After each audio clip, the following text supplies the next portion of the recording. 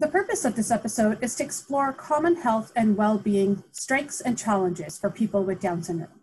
The content discussed here is not meant as a substitution for direct medical care with relevant professionals. Rather, we hope to share new and little known information so that families and supporters can be well informed when accessing medical care. Your child or student's medical or educational professionals may have recommended different practices or procedures that are specific to your child or student. Do not modify or change your child's treatment or therapy plan without consulting with your care provider first.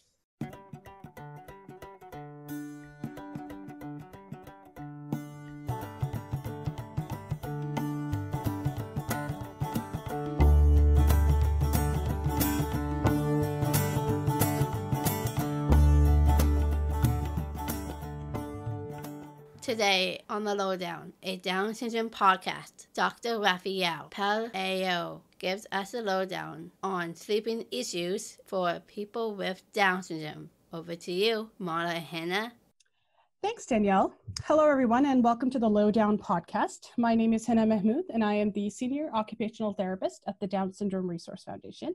And I'm joined by my amazing co host, Marla Folden, who is an SLP at the DSRF. Hi, Marla. Hi, Hannah. How are you? Doing pretty well today. Are you? Good. I'm good. I'm very, very excited about our Me guest too. today. Me too. Um, yeah. So today's we're very excited about today's episode because we will be discussing a topic that uh, comes up in almost every conversation we have with our parents and caregivers of individuals with Down syndrome, which is sleep. Huge, huge, huge issue. Um, children with Down syndrome sleep poorly with more fragmented sleep and frequent awakenings compared to typically developing kids. And, you know, for many of us, a poor night's sleep can moderately impact our functioning throughout the day. But for our clients with Down syndrome who experience prolonged sleep difficulties, the impact is far more severe, including challenges with behavior, poor emotional regulation, impaired attention, and an adverse impact of their overall physical health. So today we are pleased to welcome Dr. Rafael Pelayo to the Lowdown podcast. And Thank you. welcome. We're glad to Mhm. have you today. Um, I'm going to read a little bit about you so that our listeners get to know sort of your background and where you're coming from. So, Dr. Rafael Pelayo is a clinical professor at Stanford University School of Medicine in the Division of Sleep Medicine, which I think is Department of Psychiatry, if I'm not wrong. Um, Correct. he, he graduated with a degree in biology from the University of Puerto Rico. He his initial exposure to sleep medicine was as a med student in the Albert Einstein School of Medicine, and that experience led him to pursue a career in sleep medicine. As a pathway into sleep medicine, he trained as a child neurologist. Oh, he's just the best person for us to interview. It's so great um, and he joined the Stanford Sleep Disorders Clinic in 1993 and never left. Um, the focus of Dr. Pelayo's treatment of sleep disorders has been in patients of all ages, and he chairs the American Academy of Sleep Medicine's Political Action Committee. In 2019, he was appointed to serve on the board of the National Sleep Foundation in the States, and he also serves as on the board of the START School and he has served as the chair of the Sleep Disorders Research Advisory Board on the National Center for Sleep Disorders Research at the National Heart Lung Blood Institute at the NIH. That's a lot of things. and he also chaired the Pediatric Special Interest Sleep section of the American Academy of Sleep Medicine. So, That was, welcome. that was that, that was that was in the past. I don't do that anymore. okay. The- especially because they dissolved that. Um, And I have a book. I have a book coming out. Oh, fantastic. What's, yeah, you can the title you of can the look it up. How to sleep. Very straightforward. Yeah. Yeah. So if you look up how to sleep, the uh, publisher is a company called a New York City publisher named Workman. Okay. So it'll be out in the in the late fall. Probably be in Great. stores in December. Great. Called How- yeah. So it's already the cover and all that's already done. It's called How to Sleep. Okay, Awesome. we will look for that. Absolutely. Um, Dr. Pelayo, usually when we interview somebody here, Mhm. we start with five secret questions. It's not a test, it's just for people to get to know you better. So, do you mind if we start with that? Depends. I don't have to answer. that's true. That's true. So, the first question is What are you currently listening to? Could be a podcast or an audiobook or some kind of music that you're enjoying a lot. Uh, last night I was listening to a CD of the band REM. Oh, wow. Yeah. Perfect. it. Yeah. I was actually very lucky to see them in concert before they broke up. So they're great. Very cool. Yeah, Mhm. yeah. I saw them when they came. They did an outdoor concert in Burnaby. It was awesome. Oh, Yeah. the summer series. Yeah. Okay. Yes. Yeah. And the second question would be what would be your favorite season and why? The fall. I love the fall. It's just kind of a nice transition. It happens to be around time of my birthday. But I just I've always liked the time of the year. I like the, the transition of seasons. I like the Indian summers when we get them. And I like the, the cool nights also, sitting by the fire. So I love the Mhm. fall. Love it. Love it. Um, okay, I'm going to take over for a bit. If you could meet any historical figure, um, alive or dead, who would it be? And I know this is a bit of a tough question to give you right off the bat, but I've thought of this, but I don't want to tell you who I thought. Uh, when I was in college, I got in trouble for saying Hugh Hefner. oh, Uh, so, so that's the so I always remember that that that issue. Um, I would love to meet Obama. I'd like to talk to President Obama if I could. mhm. Yeah. Yeah, that's a really good one. Um, okay, question number four. What is your ideal way to spend a weekend? Right now, with the uh, social distancing, I've started going to some like just drives around. Uh, Northern California is beautiful, so I've just Mhm. been staying in my car, driving, listening to music. Sometimes Mm, with my wife or one of my children. I really like doing that. hmm fantastic. And the the eucalyptus in Northern California is just so spectacular. I would just drive and go see all of those. We have those. We also have the big redwoods too. Yes. You got you got plenty of trees in Vancouver. Yeah. We do. they don't smell like eucalyptus. Yeah. Yes. One of a kind. But I, that's what I've been doing lately. I've, I've I've discovered a bunch of like back roads that I've never been on Mm, because I'm not trying to get anywhere. I'm just seeing what happens if I go down this road, Yeah, and then just start driving until uh, the road ends. Then I find another road. yeah. That's what I've been I doing love that. That is nice. I love yeah. that. That's really great. Okay, and our last question. So, Marla had mentioned that you did your undergraduate degree in Puerto Rico. For anyone traveling to Puerto Rico, uh, hopefully post COVID, when everything can kind of go back to normal, what would you uh, recommend they do? Like, what would be the first thing that they should check out or do in Puerto Rico? I, I, I think if you arrive in Puerto Rico for the first time, you're gonna be there for a few days. Mm-hmm. The first thing you want to do is just go to the beach and do nothing but stay at the beach. Mm. Just let it soak in. Yeah. just just get a sense of the island by being around the beach, being around local people. Later, you can go do some sightseeing and things like that. But I would just Mhm. go to the beach, land land that sand.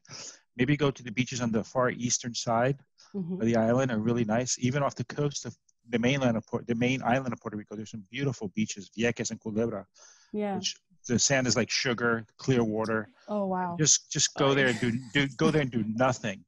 Just go in that beach and do nothing. Yeah. Things will food and drinks will come to you. Lay in that beach. Do that for a few days first, and then explore the rest of the island. Love it. I'm not even a beach person, but you've sold me now. I kind of want to check it out now. I'm not a beach vacation person, but I want to do it now. um, thank you so much. That was really great. Appreciate you kind of playing along with that with us. And I think our listeners kind of got a good sense of um, of what you like and not. So let's kind of dive into what we're here to talk about. Um, as Marla was reading your biography, I noticed that your expertise fall into a few areas. So psychiatry, sleep medicine, child neurology, and behavioral science. How do all of these domains work together in your everyday interactions with your patients? One of the things I like about sleep medicine, if you look at the symbol for sleep medicine, the is actually the yin and yang, the black and white symbol. And that was meant to be represent the day and the night. But I've taken it to mean that in sleep medicine, we don't separate the mind from the brain. It goes Mhm. together. Mhm. And the work that I do works with that together. We don't need to separate the mind from the brain. So even though I train as a child neurologist, I mostly take care of adults in the Department of Psychiatry. And I like that because I get to work with all ages. And I've come to think about sleep not as how an individual sleeps, but I like to think about how a family sleeps. Mhm. It's very important we think about how, how Down syndrome works because Mhm. some things we can't change and some things we can. But if I can help that child's mother sleep better, it'll help her Mhm. work with that child more.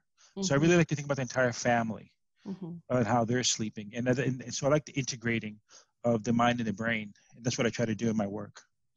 A very holistic approach for sure. Yeah, but but it has to be that way because we Yeah. can't separate the mind from the brain. If you've had poor sleep for more than two or three months, it, it may be a physical reason. A child with Down syndrome could have a large tongue and block their breathing. But once you've had poor sleep for more than two or three months, it will never be an entirely physical problem Mhm. because sleeping is something that we learn how to do. Sleeping is a learned behavior. Mhm. Uh, we're taught how to sleep. Mm-hmm. All babies will drink milk at birth. But what a five year old eats throughout the planet will be different. And when you visit other countries, the first thing you want to look at is what, what, what are the foods there? Mm-hmm. So the need to eat is biological, but what you eat is cultural. Sleeping is the same way. The need for sleep is biological, but the way you sleep is learned. And we teach our kids how to sleep. Mm-hmm. And that's something that I like to get into how the entire how the entire family sleeps. Yeah. Yeah. It's a great comparison. Yeah. Yeah. Makes it And- very clear.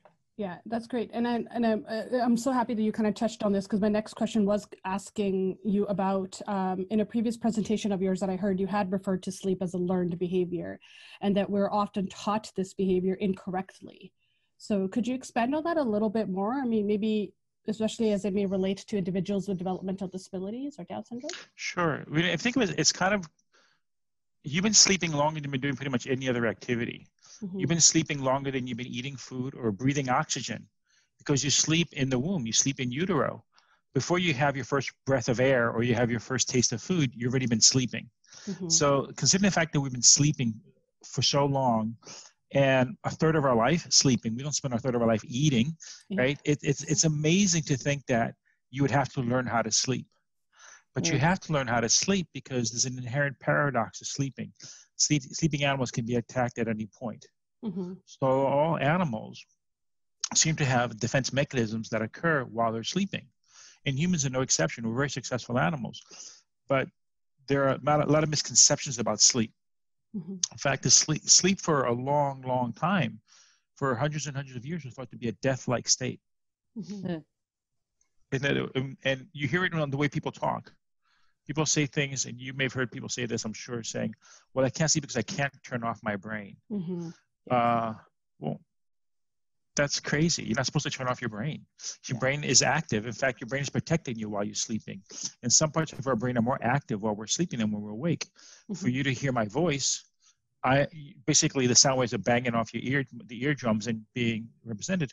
For if you were to have a dream of, of, of somebody saying something to you, you have to create that image. It requires more energy to Mhm. dream about something than to just see it in real life, get it physically. with it So some parts of the brain are more uh, metabolically active when we're sleeping than when we're awake.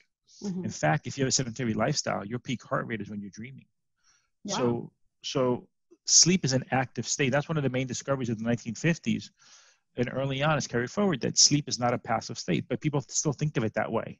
Yeah. And they also equate sleeping with being tired, which is another common mistake. Being tired and being sleepy may converge or may diverge. Anybody who's been jet lagged knows there's a difference between being sleepy and being tired. And if the listeners were to get up now and do 100 jumping jacks, Mhm. you might feel tired, not going to be sleepy. Mhm. This idea of needing to be tired to sleep or turning off your brain, these are misconceptions. And people are trapped in these misconceptions. That's what drives the sleep problems.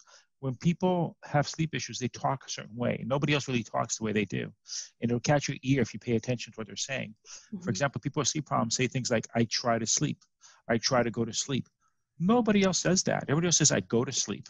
Mhm. You're not trying to get hungry. You're not trying to breathe. So when somebody's trying to do this, okay, now you know something is wrong. And then when you talk about children or adults, um, you got to get a sense of, of what of what's the motivation of that person to go to sleep.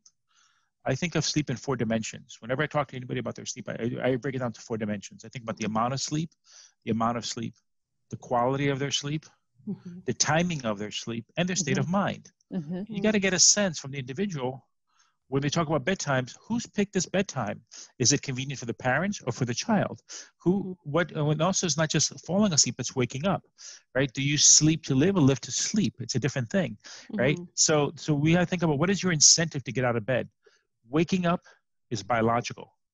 Getting out of bed is volitional. What if that person has no desire to get out of bed or it doesn't matter to them if they get out of bed right? What are, you, what are you getting up for? Are you looking forward to tomorrow or dreading tomorrow? So I, I really think of sleep in that, that entire context when I think about how one individual sleeps. And I want to think about the entire families and, all- and all those four domains, how the families interacting with each other in this arena also. Mhm. Did, did I answer your question? I just went off and talked about random No, stuff. no. No, you, yeah. you answered our question, but you gave us so much more to think about because I think we have to really understand the what sleep is and the function of sleep and how um, what our conceptions are about sleep in order to really help figure out how to solve the problems that we are having with sleep. So I think that was super helpful. What are your thoughts, Marla? Yeah. Yeah, I, I agree. I'm going to focus us in a little bit on Down syndrome here, because as Yeah. I'm sure you know, 50 to 90% of kids with Down syndrome have obstructive sleep apnea. i from, from my perspective, that margin is super wide. And I think it speaks to the inconsistent testing and the changes that they go through as they grow older. Um, certainly, the dually diagnosed group of kids with Down syndrome and autism have more impaired sleeping. And in our clinic, Hannah and I both have about 50% of our students that have a dual diagnosis. So we see that a lot, and those families are extremely stressed out. Um, ca- and some of our students actually also have a central sleep apnea diagnosis. So there's there's a lot of things in the mix. Um, could you maybe talk a little bit about the types of sleep apnea for our listeners to make that piece of it really clear? Sure. The term apnea means without air. Mhm. And the so sleep apnea is somebody who is not breathing while they're asleep. And I, I want you to just take a moment and think about how important sleeping is. Mhm. That the brain decides, the brain's hierarchical decision, the way the brain is designed, created, evolved, however you want to think of it, that it, sh- it decides, I'd rather sleep than breathe. That's Mhm. how important sleeping is. So the brain continues to sleep despite the person stopping breathing. Eventually, you have to breathe, and your sleep will be interrupted in order for you to breathe. But Mhm. for a window of time, the brain says, I prefer to sleep than to breathe. So, uh, and the term is obstructive sleep apnea means that there's a blockage of your breathing, an obstruction, a blockage. And then, as you mentioned, the central sleep apnea, where the brain is not sending the signal to the diaphragm to inflate the lungs Mhm. There are you can have both. You can have mixed conditions. You can have obstructive and central apnea. By far down syndrome it's going to be obstructive sleep apnea. Yeah. the american academy of pediatrics guidelines my understanding is that all children with down syndrome by the age of four should be tested for sleep apnea because the condition is so prevalent. And a lot of them aren't getting tested i'm sure it may not be available. There may be other issues with it. Mhm. having uh, now something to be aware of is that central sleep apnea on a sleep study may actually be obstructive and it may be a wrong diagnosis in some of the some of the kids. Central sleep apnea is silent. Mhm. obstructive is, is snores. So if i see somebody who snores as obstructive and maybe central sleep apnea the central apnea may actually be an artifact of the recording technique because when we measure it we put these bands around their chest and the abdomen and we have a microphone for snoring and an airflow signal usually on the upper lip. And what can occur is that if the if the airflow signal on the upper lip is flat or diminished we say that's an apnea Mhm. then we look down at the chest and say well is the chest moving up and down that means you're trying to breathe and the air's not coming out that's called obstructive and if no effort is being made uh, to breathe then we say it's central and that's a very simple way of thinking about this but what happens sometimes is because these are all night recordings these are multiple hours nine ten Mhm. hour recordings and the bands can slide or slip and, and we lose the signal. Okay. so when the technologist is acquiring the data, they have to decide: Do I go in and fix these belts Wake the kid up. and, Yeah. and, and wake and, and risk waking up the kid who may not want to go back to sleep later, or do I keep collecting data? So what can happen is, if something is obstructive, it really is obstructive. If something is central, it might be central, it might be obstructive, and it just looks that way mm-hmm. briefly. So sometimes what we do, depending on the clinical situation, especially if the child snores, is treat the central sleep apnea as if it's obstructive first, and see if the central then goes away. Okay. Other now things get even more complicated because sometimes the kid only has obstructive sleep apnea when they diagnose a sleep apnea. But then if they use one of these breathing machines called the CPAP machine, which we can talk about, I'm sure in more detail later, continuous yeah. positive Mhm. airway pressure, CPAP, when you when you blow the air down a child's throat, or an adult also, sometimes you stretch out the throat, and the brain's reaction is to stop breathing because things are getting too much air. Yeah. So sometimes the central apnea is an artifact of the treatment that we're offering the child or the adult. They call that complex sleep apnea sometimes. So the, the central sleep apnea that we're seeing in the kids may really be central, could be, Mhm. but it could also be an artifact of the recording technique or, an, or, or iatrogenic being induced by the treatment that we give in the person. Okay. So you always keep that in mind a little bit when we see uh, these people. Then the, the main thing is obstructive sleep apnea will snore and central sleep apnea typically doesn't. Okay. And those are really good things to know. I think we have a lot of families that come to us that insist that their child sleeps well. And we know from research that parents are actually not a good and valid reporting measure on their child's sleep quality. Um, but certainly, I think the children that are diagnosed with central sleep apnea also tend to have a dual diagnosis. Am I right, Hannah? if you think of your people. Yeah, I, I mean, Yeah. if I think anecdotally, yes, So for they have a lot going on. Well, they may also have something. Uh, they may have a third diagnosis. You Mhm. can get central sleep apnea. Let's say you have a um, an Arnold Chiari malformation of the cerebellum, where Okay, it's yeah. coming down. They can get Yeah. one of those. Some of the medications that people are given to help them sleep better, if they're sedating, can induce central sleep apnea. Right. Um, Hmm. You can get central sleep apnea for um, congenitally. What I tell my patients is you can break your right arm and your left leg. There's no reason to only look for one diagnosis for these things. Sometimes when something's complicated, we're trying to pigeonhole them into a single Yeah. um, diagnosis when there's actually more than one thing going on. So you can have central apnea. It has. It should be. It should, if it doesn't go away, it should be explored. It should not be accepted as just bad luck. Yeah. Um, an unrelated condition, but some parents would know this is Prader-Willi syndrome. Yeah. Mhm. And Prader-Willi can have both obstructive and central apnea as part of the syndrome in of itself. Okay. That's good Mm-hmm. to know. So I guess for our parents listening, then we would recommend pursuing it a little bit further. I would first, I would first not freak out if they say your kid has central sleep apnea, that, yeah, um, tends to because because that because that tends to be incurable, Yeah. right? Um, yeah. it's likely obstructive. Okay. Uh, So I would take obstructive sleep apnea seriously, and central, I would just put, hey, maybe it is obstructive, and it just appears that way. Okay. Um, so let's treat it as obstructive first, and then see what we get. Mhm. Um, if obstructive sleep apnea is corrected or not present at all, then definitely, and the sleep, the central sleep apnea remains, Mhm. um, and it's not a first night effect. By the way, the other reason we get central events, I should have mentioned, is the control of breathing is different awake than asleep. When you're awake, you can hold your breath, you can sing, you can laugh, you can ting, you, you, you can sing, right? So the control of breathing is different awake than asleep. And when we, we transition from the awake world to the to the sleep world, when we do that transition, sometimes we have a central apnea, which is thought to be completely normal Okay. and and so so some of these central events if they're very short and self self-limited events they just may be physiological transitions. So you have a child sleeping in a room that he's never slept in before wires on the head they're uncomfortable they may be a little scared or freaked out they may have very choppy sleep.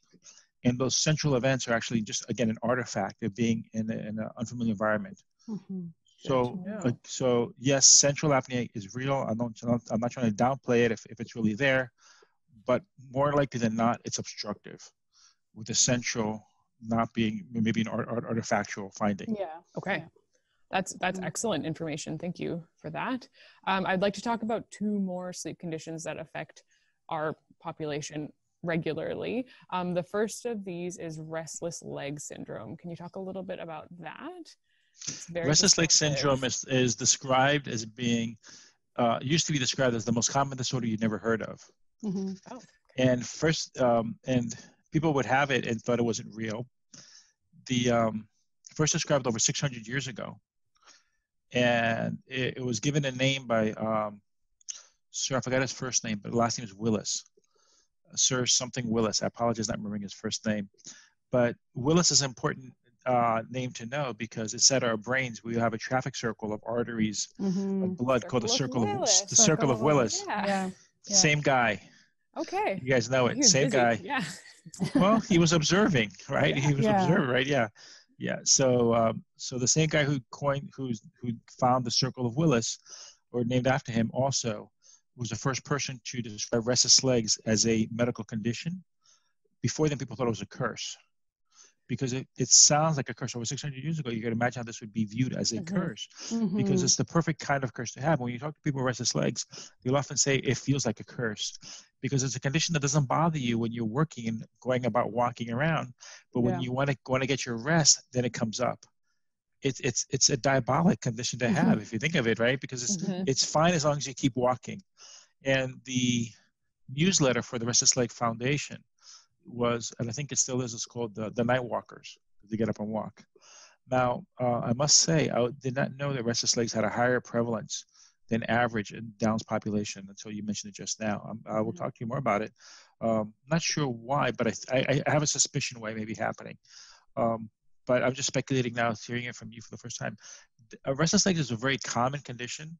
It runs in families, strongly runs in families. Um, in fact, it's unusual to have somebody, only one person who has it in the family.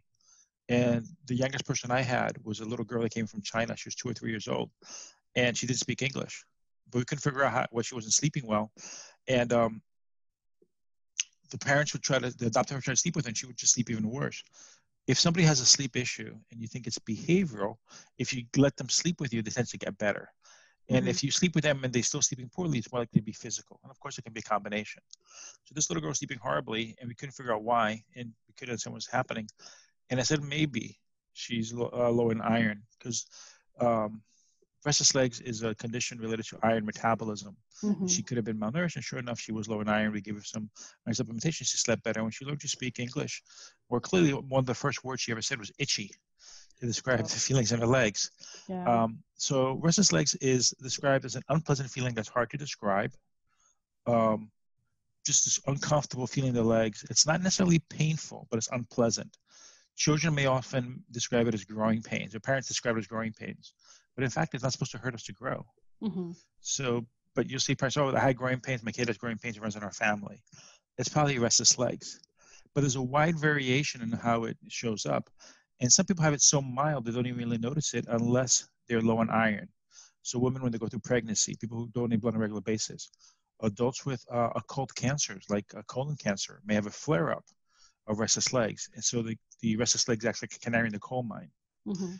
Anybody with a genetic tendency towards restless legs, if they're low in iron, will show up more. Yeah. So it's possible. It's possible. So I'm not. I'm not sure if Downs by itself makes you more pre- more prone to have restless legs symptoms versus having the actual condition.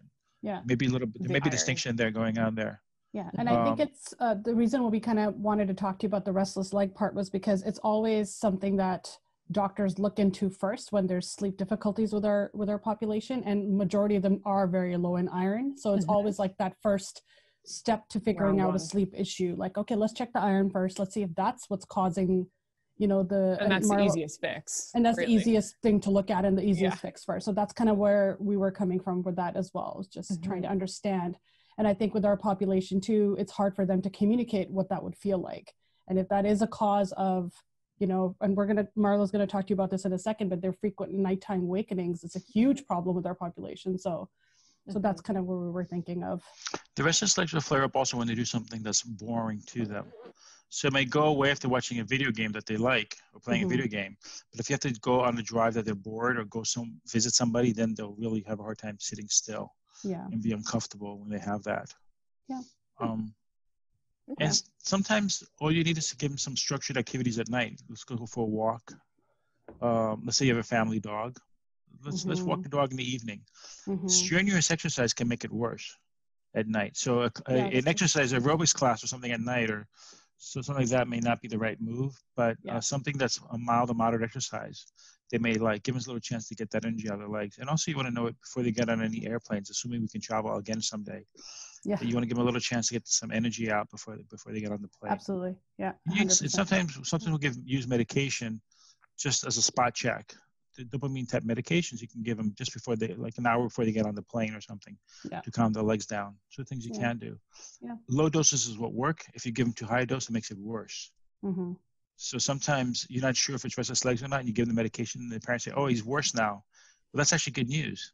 That means Mhm. that if you come across a diagnosis now because you made it worse, now you got to find the right medication for them yeah but but inadvertently making it worse temporarily can be th- therapeutic uh di- um can be excuse me a diagnostic signal that, that you're on the right track Mhm.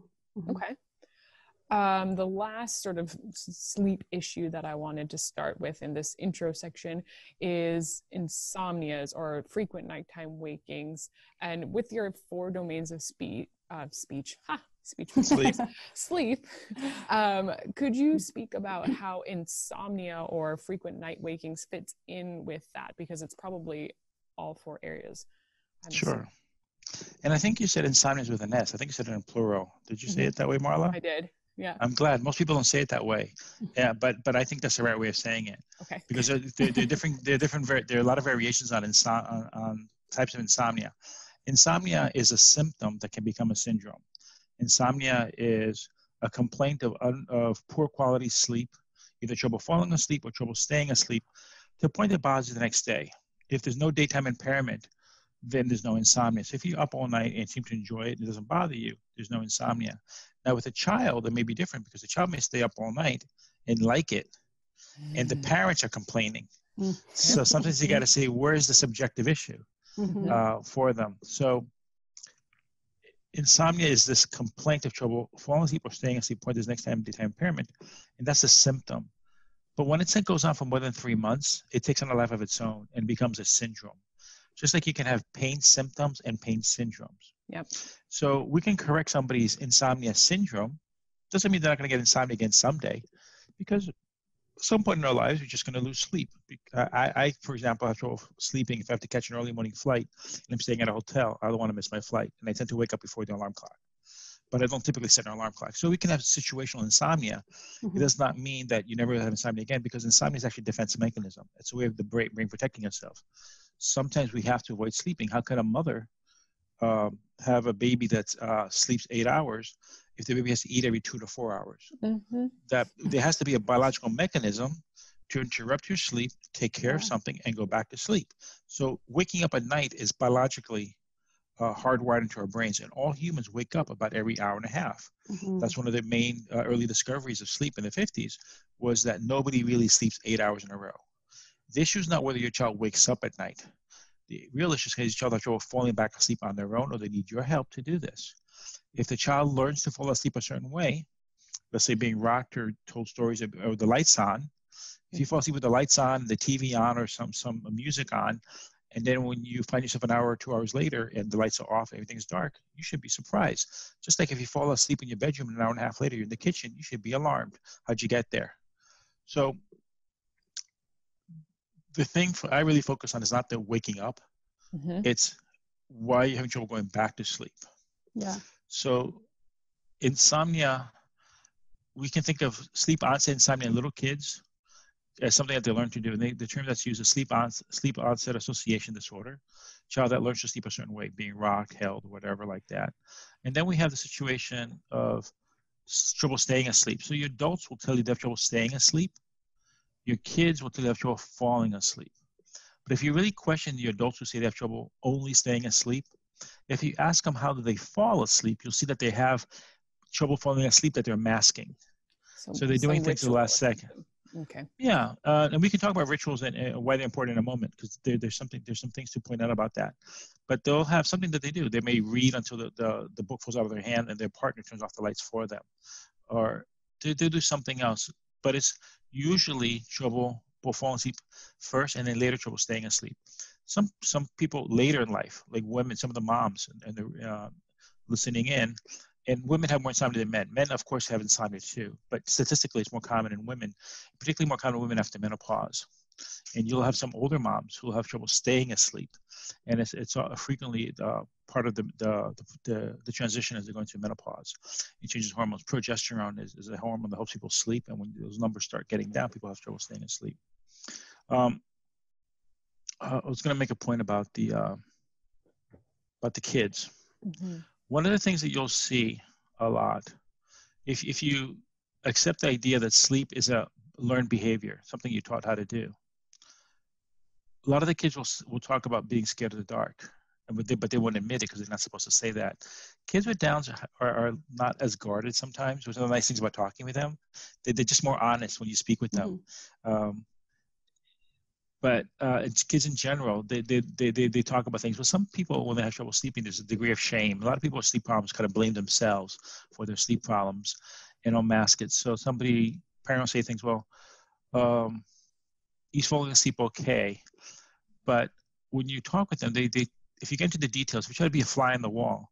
Some of the things they'll describe to you is like leaving a night a night light on, or leaving the, the, the bedroom door slightly open and the light in the hallway on, or the bathroom light on. And I say, well, what's that for? What's that light for? Well, he likes it that way, or she likes it that way. What is it that what is it that they want about this? Mhm. Why is that important to them? Why do they want this light for? And I think what happens is that children are taught that they usually start sleeping with their parents, or parents are near them to get tucked in. And then at night they're not there. And then they get scared, like, well, what's going on? Mhm. And the light, the darkness represents them being left alone. And they learn to associate darkness with being left alone. So they want the light on to check things out. But the light is not really um, necessary. They don't need it. Uh, I saw a 15 year old girl one time who had, was in the habit of walking into the parents' room a lot. And a lot of the, the your parents say, Mike, these kids walk into their rooms. And it's actually kind of a rude thing. If you know, if you talk with them, you see that they always go to only one of the parents. They don't go to both parents. Mhm. They know which parent to go to. They know which Yeah. side of the bed to go to. And if you ask the child or they ask the parents, how come it doesn't go to the other person? Says, well, that other person won't, won't do anything. So it falls on the parent to do that, to the one, the parent that's been uh, designated to do this. Um, so this 15 year old kept coming to the into the um, the room. What happened was she was raised single mom. Um, they used to share the same bed, and then when she was when the mother remarried, they had the child sleep separately from them, and she kept coming into the room at night. And when we talk about her routine, she always left the light on in the hallway on. Other things, the bathroom light on. And I asked her what's going on, and she finally said, "I'm scared of monsters." And I told her, if I was a monster, is it easier to find your lights are on, lights are off? Right? It's easy to find you if lights are on. Mhm. And what we try to do with with the children, the adults and the children, especially the children, is you can be creative because they have magical thinking. Mhm. So that you want to reframe things for them.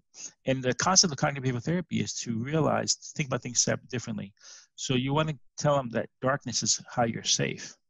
You don't fear the dark. Dark is good news. Mhm. You're safer in the dark.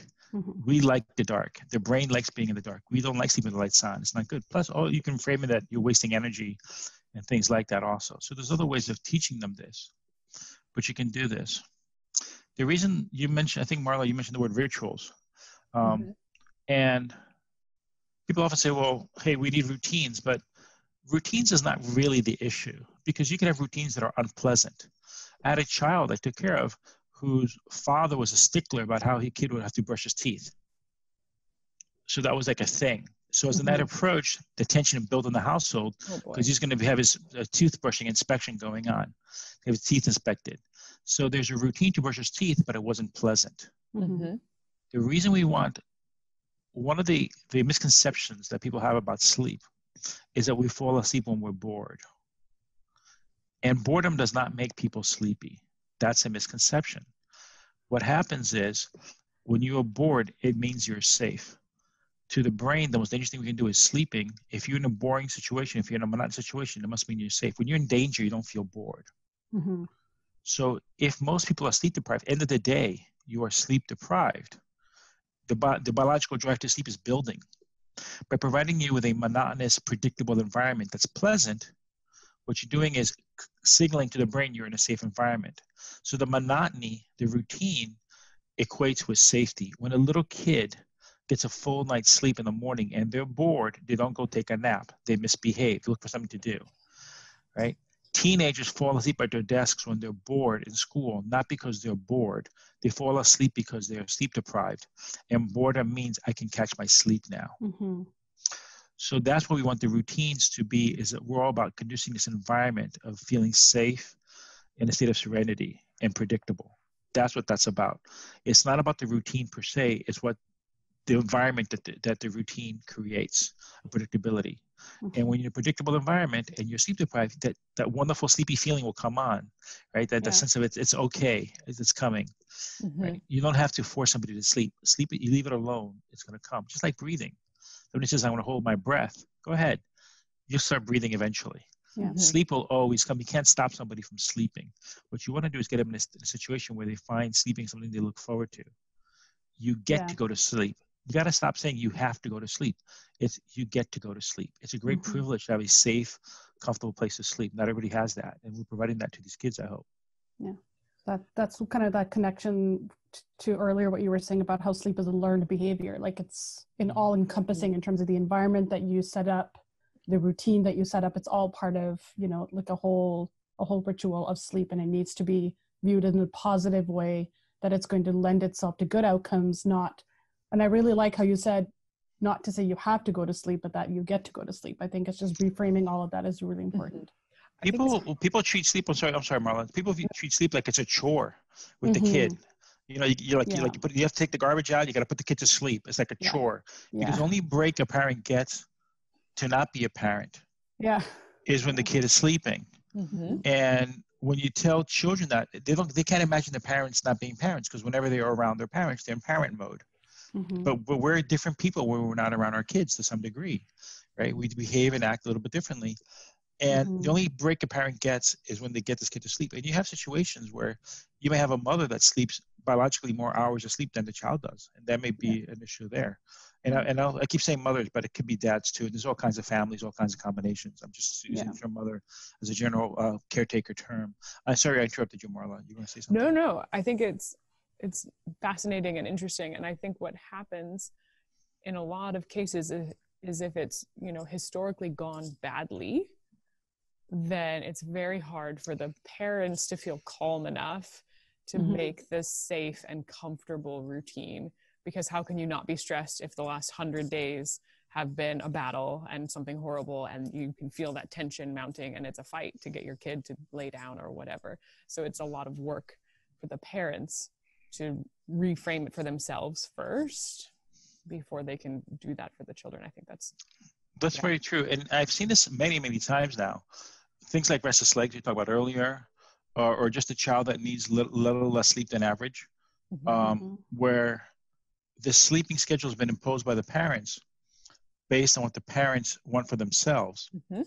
And now the kid has a situation where they're in bed and they're trying to be good because they've been told to be a good child. They've been offered a reward or something, but biologically they can't sleep yet. They're not at the Mm. right time to sleep, and now they feel pressure on Mhm. themselves to sleep, and they're not good at it. They have a sibling who's better at it. They feel bad about themselves. Yeah. People with sleep problems often blame themselves, and you can see the seed planted for sleep problems in adults that I take care of that began in childhood, because they were never considered good sleepers. Something they weren't good at. There was something they're bad at their entire lives. Mhm. Uh, or or they're told, well, you, you got that from your dad's side. They- Now they've been cursed. It's you from your uncle's side, right? Now you know. Uh, and they're like, okay, what can I do? And a phrase that I sometimes use with people is that your tendencies are not your destiny. Right? And so, so just because you have a decent, it doesn't have to be that way. Yeah. But we really, really want the parents to sleep better first. That's what you want to do. Sometimes when your kid is crying and upset that they can't sleep, all the parent can do is pretend they're sleeping themselves. And the kid is like, okay, well, they're asleep. I might as well sleep too. Well, we know there's nothing else to do here. Mm. But, but eventually that'll happen. Um, an analogy that I've used many times, um, you may have come across this, if I may, is you go on any plane, you go on any airplane, um, when you get on a plane, right, and especially in the old days before there was um, traveling was, not as crowded, if you got on a plane and there's an, and when you sit down and there's an empty seat next to you, what are you thinking? I hope that seat stays empty, right? Best case Mhm. scenario, that seat remains empty. You feel like you've got a first class ticket if the seat next to you is empty. You got all the space of first class at, at a coach price, let's say. So if the seat next to you is empty, all you want is for that seat to remain empty. As the plane is boarding, right? Best case scenario, empty seat. What's worst case scenario? Crying baby. Nobody wants to sleep next to a, a crying. Nobody wants to sit next to a crying baby on a plane. So just imagine again, you're the mom. It could be the dad, but let's say you're the mom walking down the aisle. You missed the pre-boarding, so now you're stressed. Yeah. Carrying the aisle, you have this baby, and all you're thinking of, I, I hope whoever I sit next to is good with kids, is not sick themselves. You got the diaper bag, you put the stroller up. It's 10,000 stressful. things yeah Right, right. You're stressful. you come in down the aisle, and as you come down the aisle, everybody with an empty seat next to them like- sees you coming. Like They look away. Yeah, they, they, they won't make eye contact with yeah. you. They hoping to they look away, hoping that think that magically the seat assignment is going to change. And as the person gets further further down the aisle, the number of empty seats dwindles, so the tension builds in the plane. Mhm. And what you'll see will happen is at some point that baby will start to cry. When the baby starts to cry, it echoes in the in the in the cabin, and all eyes will dart on the mother. Mm. Right? What are you gonna do about it? The baby starts, the mother starts shaking the, the, the baby like it's a maraca, right? She starts shaking that baby, and what happens? The kid starts crying. If you watch this play out, usually a complete stranger offers to help the baby. For example, Mm. the flight attendant. And when the flight attendant holds the baby, the baby stops crying. And the Yeah. question is always the same: Why does a stranger console a baby faster than its own mother? Because the mother is stressed and then feeding on the baby. Yeah. So if you have a child who is healthy otherwise and is now crying and upset, you got to calm yourself down first. You're shouting, shushing the baby, feeling the pressure because you got to get this kid to sleep because the other parent has to go to work in the morning. Mhm. Is that pressure is not going to help anybody sleep better. Mhm. So you really just got to take a step down and be very. It's hard to do, but you can practice this. Calm yourself down. Know that you're you're lucky to have a healthy, beautiful, beautiful child. The kid will sleep eventually. Mhm. And again, that gets to this whole issue of this the frame of mind that people have Yeah. around sleeping. You can't view sleeping as something you're dreading or a chore. I'm, I'm sorry to go off on that, but I thought it might be helpful. No, that's great. And it also describes my flying experience. Yeah. there we Marla being a mom of a, of a toddler too. Yeah, she can relate, I'm sure. so Marla, I'll tell, super quick. I've told that story many, many times. And one time I told it at a, at a community event and one of my neighbors was in the audience. I did not know my neighbor was there. She was a mother of a young child.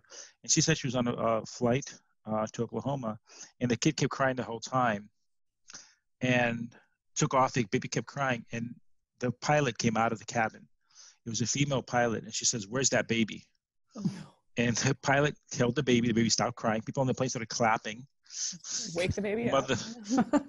well, no, the, the, the, babies will fall asleep to noise. Actually, will fall asleep yeah. to noise. But the people on the plane start clapping. The mother gets really embarrassed, and the pilot hands the baby back to the mother, and the mother starts, baby starts crying again. Oh. So, so, so you see how this plays out. You said it was a horrible oh, flight. Yeah, I bet. I bet. I bet. Um, Hannah, why don't you go next? I think. Sure. Yeah. Um, so, is there any truth to this notion that many individuals with developmental disabilities may not, and I think you had mentioned this briefly earlier, that may not need a full eight hours of sleep or that they can actually make do throughout their day with a shorter amount? Sure. On any one of us will tell you when you ask about your sleep amount, sleep needs, or sleep desires, will give you two numbers mm-hmm. you're your own mind. If I say how many hours sleep you, you, you, need, you may say things like, I like to get nine, but I get by with six. I need, I, I know I need, I like eight, but I can, if I, if I get at least five and a half, I'll be okay. Mm-hmm. And human sleep is probably seasonal to some degree. Mm-hmm. You've got friends and and and further north, yep. uh, in Alaska, for example, they'll tell you that they sleep more in the winter, less in the summer. Mm-hmm. So it makes sense if, if our human sleep cycle is dependent to some degree on light, the mm-hmm. seasonality of sleep is kind of built into it. So you have an ideal amount of sleep, and you have um, an amount of sleep to get by. Yeah. And what happens is some people just get a habit of just getting by as little sleep as possible. So this part of that range is in there also. Mm-hmm. Um, with insomnia, we don't know. They usually come and says I want eight hours of sleep. Mm-hmm. Well, how many hours do you sleep? I sleep six. I sleep five and a half. Mm-hmm. We may get them to sleep an extra half hour, an extra 45 minutes of sleep, but it's a predictable time. We don't hit. They don't get eight but now they no longer have that tension about sleeping. It becomes less of a concern to them. Yeah. They'll be there. That's why sometimes you hear the phrase, which is not a fair phrase, that sleep begets sleep. That the more you sleep, the more comfortable you are with sleeping, the more you do. I don't. Mm-hmm. That's not a perfect term, but I think that kind of implies that to some degree. Mm-hmm. So yes, there are going to be some kids that are going to need less sleep than others. The 2017 Nobel Prize uh, in, in medicine was for this thing called the clock genes, the circadian system, and the, the our sleep mechanism, the timing mechanism, is actually been worked out. It's located right behind our eyes. And those genes are similar to the same genes in flies. It's a very well preserved system because mm-hmm. animals must predict sun up and sun down in order to survive. The world is very different daylight than nighttime. Mm-hmm. And you have to have a system that adapts to the change of seasons. We just had our summer solstice, mm-hmm. right? So we have long days. We should be behaving differently than we should on the winter solstice. It's a biologically different environment. So our brain must adapt to this. So you need a system in your head to adapt to this change of seasons. And I think that plays a role in it. That's why we talk so much about light in mm-hmm. the kids. So yeah, some of the kids may need less sleep, but you also may have a situation where you have one parent needs less sleep than the other parent. And the child may take after the parent who, who sleeps a little bit less than average, but the main caretaker is the parent that needs more sleep. There's going to be a conflict there too. Yeah, mm-hmm. yeah, yeah. No, that's a really good point. And I, I think I mean I I had a consultation with a parent um, a while ago where they were saying that their little kiddo with Down syndrome would have no problem falling asleep, would wake up in the middle of the night, and then, like you said, from a learned behavior perspective, dad would come, help him go back to sleep, would stay with him in the bed. And then the, the mom was, at the end of the day, she was shocked that despite that disturbance in sleep, he could still function throughout the day. I mean, he was only five years old. He's only five but so that's kind of what got me thinking like do did that five year old really need a full eight hours of sleep or you know like there's so many factors involved in trying to figure out how was he able to manage throughout the whole day when he had like this nighttime awakening for two hours and then went back to sleep and then got up and was ready to go well he can get by but i bet that child if they got more sleep they could do better yet yeah. there was a study done on healthy uh, adults and they just had them take a nap and these are adults who were getting all the sleep they needed, mm-hmm. but still managed when given an opportunity to take a nap. And they found that I think there was a, a jump of 23% or over 20% improvement in their in their ability to remember a, a list of words. Mm-hmm. So there's a range of functionality. We're not fragile creatures. You can hold your breath on the water. Something as important as sleeping, you must be able to do without temporarily. We can skip a night of sleep. That five-year-old can get by and do okay with that sleep, but they might do better yet. And what you're going to see with mild sleep deprivation is being a little bit moody, a little bit inattentive. Mm-hmm. So Yep. yeah, so a little inat- yeah. Oh yeah. uh, so a little in, and a little inattentive. You give them a stimulant, of course Yeah. you're going to behave better.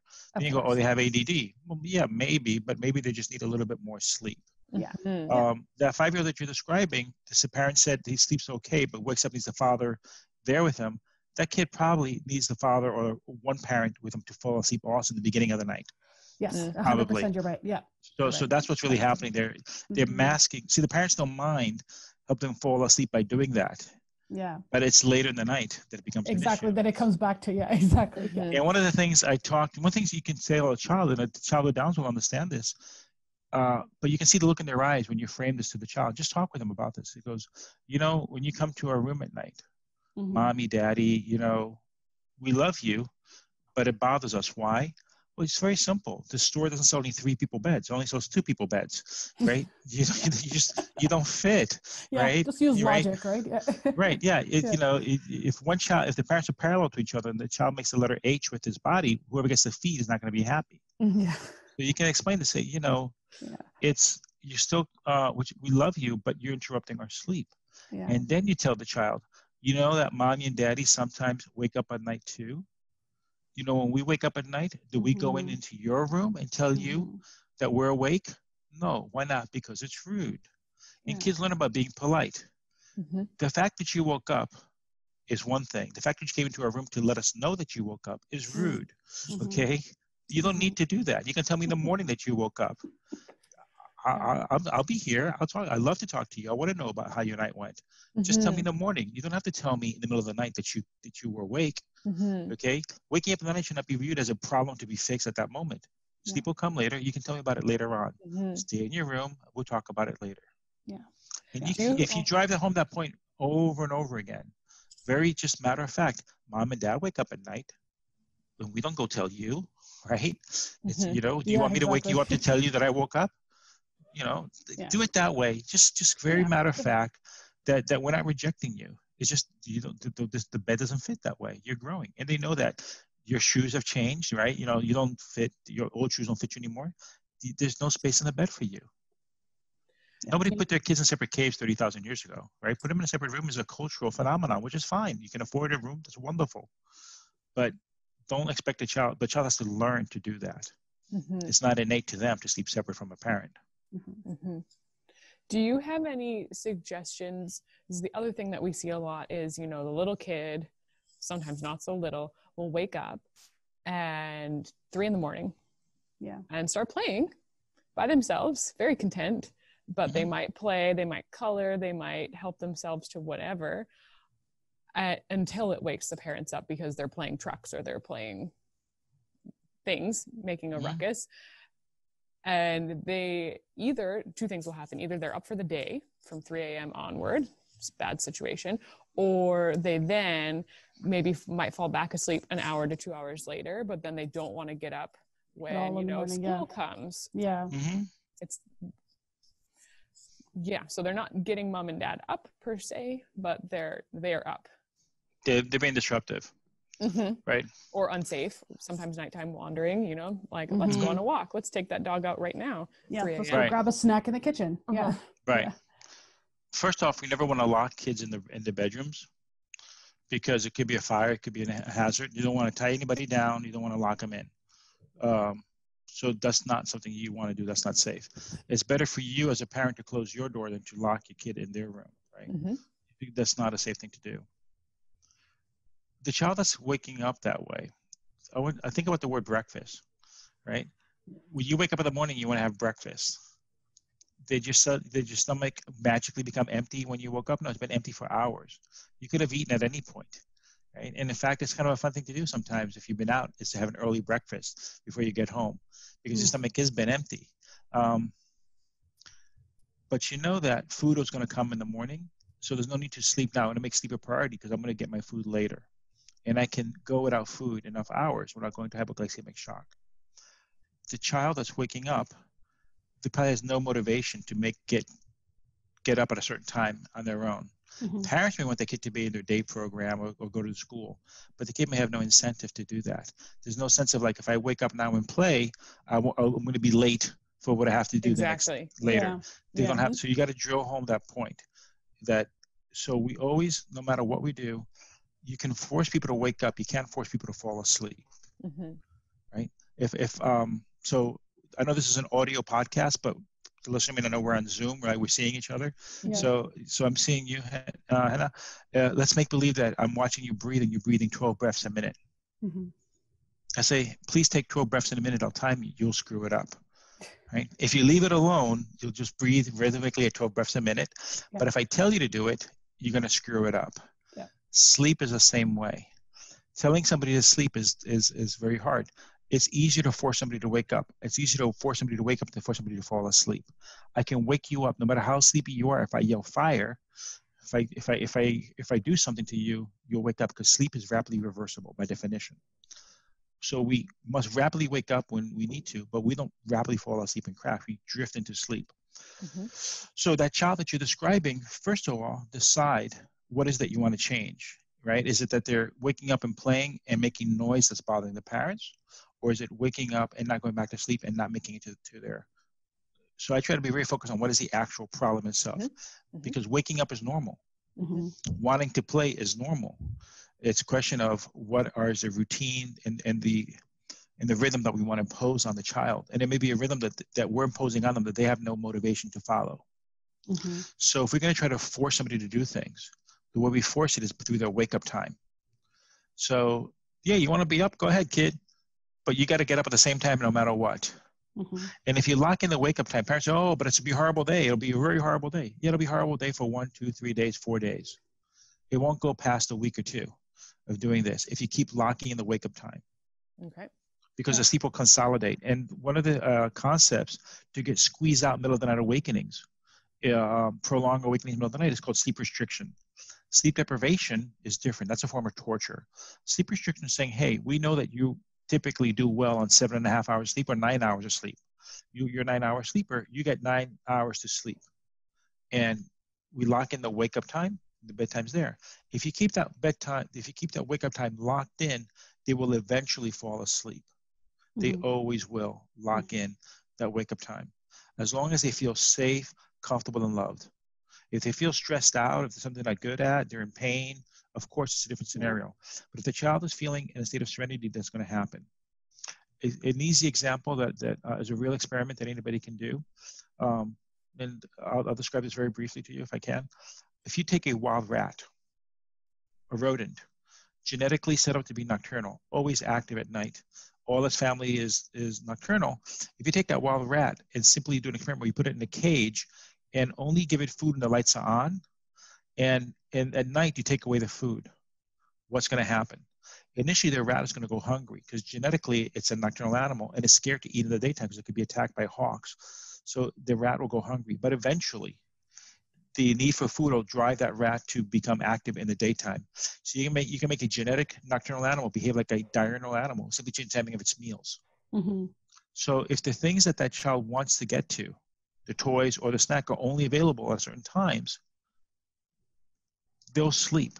Now, you may have a child whose parents are putting the kid to bed too early, and the kid is already sleep satiated, and they got and they're awake because it's time for yeah. them to be awake. So, you, mm-hmm. so what you really want to do is figure out what is the total sleep you want the child to have, lock in a wake up time, go backwards, and that's the bedtime. So the bedtime may be much later mm-hmm. than you're used to, but you lock in that wake up time, and mm-hmm. that over a few weeks will will then get into a proper cycle, assuming the sleep is of normal quality. Yeah. Um, before we take a break, I just wanted to ask you one more question and I'll hand it back over to Marla.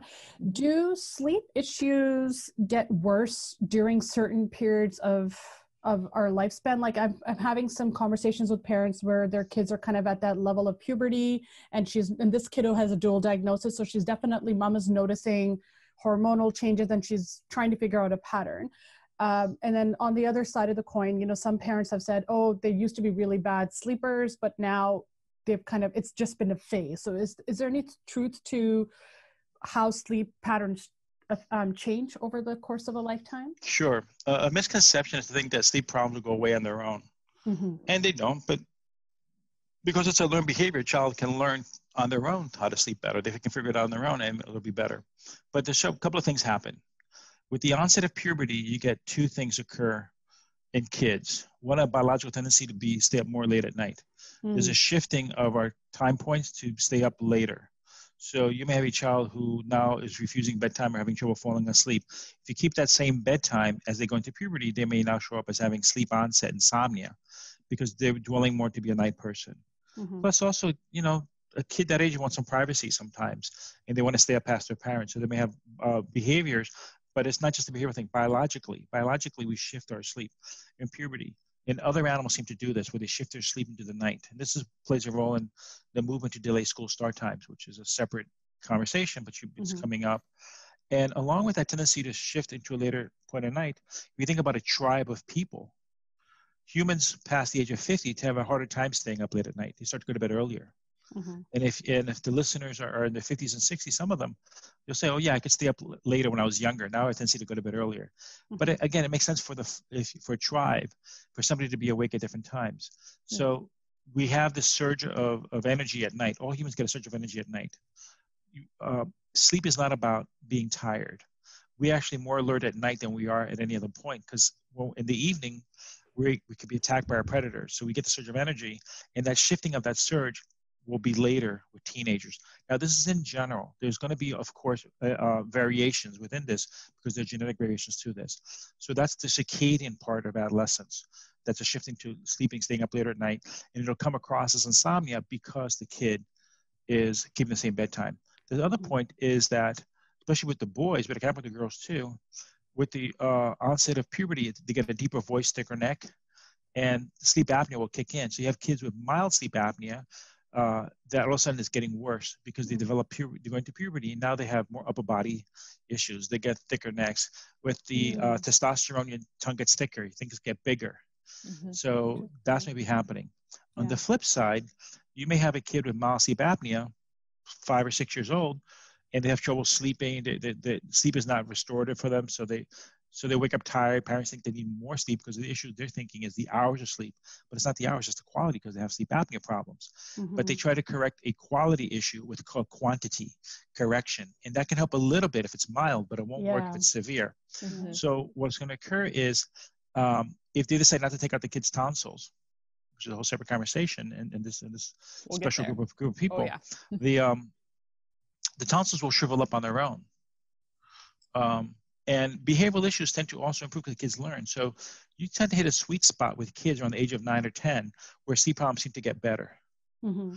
because the tonsils are shriveled up. Now they're more used to what's going on. They haven't had the pubertal shift that I described earlier. So you have the sweet spot around nine or 10, and then they'll come back later sometimes. Yeah. I think that's the fluctuation that you tend to see. Yeah. And that's as I mentioned, people say, oh, if you just do careful, uh, you know, a watchful observation or, or, or conservative treatment of their sleep apnea, is going to go away. That's because they're looking at maybe nine and 10 year olds. But if you Mm. check them out when they're 15 or 16, you'll see that it's come back with it with a vengeance, I think. Yeah. A lot of these, a lot of people. Yeah, that's what it seems like. Yeah. Great. Yes. We'll be back for more in depth discussion of sleep quantity and quality with Dr. Rafael Pelayo. We will be discussing treatment options from testing to routines and supplements. Don't miss it next week on the Lowdown Podcast. Next week on the Lowdown, a Down Syndrome podcast. people with sleep apnea tend to be very restless sleepers. People say things to me like all the time, well, I can't use CPAP because uh, I can't sleep on my back. Yeah. The reason you can't sleep on your back is because you have sleep apnea and the tongue slides backwards. But if I get you in the right pressure, the right position, the tongue will move forward, um, then there won't be an issue. Mhm. Yeah. Have you Okay. had? So, so that, so, so that'll, that, that'll correct itself Okay. once you get into the right position. And on CPAP, people will sleep better on their back. Having said that, new CPAP masks have been designed to let them sleep on their side. The Lowdown, the Down Syndrome podcast, is a production of Down Syndrome Research Foundation. Learn more at dsrf.org and join the conversation at DSRF Canada on Twitter, Facebook, and Instagram. The Lowdown is hosted by Marla Fodan and Hannah Mahmood. and is produced by Glenn Hughes. The Lowdown theme music and Just Do was written and recorded by Rick Scott.